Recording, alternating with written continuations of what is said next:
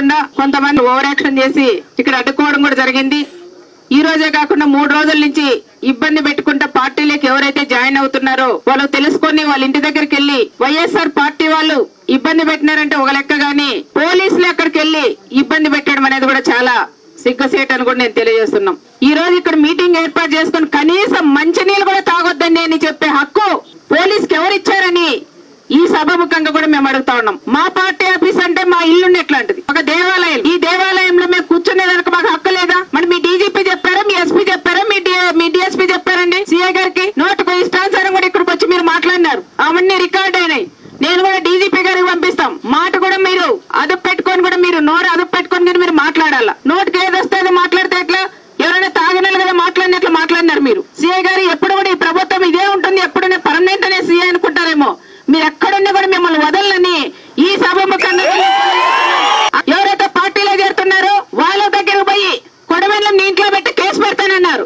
అవన్నీ కూడా రికార్డ్గా మా దగ్గర ఉన్నాయి. మేము కూడా ఈ రోజు నాకు పార్టీలోకి ఎవరైతే ముప్పై కుటుంబాలు చేరినారో వాళ్ళ మీద ఎవరైనా ఇబ్బంది పెట్టి వాళ్ళ కేసులు కూడా ఏదైనా పెడితే దానికి కారణం సిఐ గారని కూడా ప్రత్యేకంగా కూడా గుర్తు చేస్తున్నాం. డ్రెస్ ఉంది కదా అని మీరు ఇష్టానుసారం మాట్లాడొద్దండి సీఏలు కూడా చాలా మంది ఉన్నారు మంచి వాళ్ళు ఎస్ఐలు ఉన్నారు డిపార్ట్మెంట్లో కూడా కానీ మీ వల్ల వాళ్ళు కూడా ఇబ్బంది పడే పరిస్థితిలో ఈ రోజు ఏర్పడినాయనే విషయం కూడా సీఏ గారు కూడా గుర్తించాలని కూడా నేను కోరుకుంటున్నాం దాదాపు ముప్పై కుటుంబాలు మీరు ఎన్ని బెదిరించి ఇబ్బందులు పెట్టినా ముప్పై కుటుంబాలు ఈరోజు తెలుగుదేశం కుటుంబ తెలుగుదేశంలో చేరిన దానికి ప్రత్యేకంగా తెలుగుదేశం కుటుంబ సభ్యులందరి తరపున మా కుటుంబం తరఫున కూడా వాళ్ళకి స్వాగతిస్తూ మీరు కూడా కొత్త పాత అనేది లేకోకుండా ఇక్కడున్న లీడర్లు కానీ ఈరోజు వచ్చిన వాళ్ళు కూడా మన కుటుంబ సభ్యులుగా వాళ్ళు ఉన్నారు కాబట్టి అందరూ కూడా మీరు కలిసి పనిచేయాలని ప్రత్యేకంగా కూడా నేను కోరుకుంటున్నాం. చాలా మంది గ్రామాల వాళ్ళు వచ్చి వెంకటాపురంకి వచ్చి కూడా మాట్లాడిపోతున్నారు.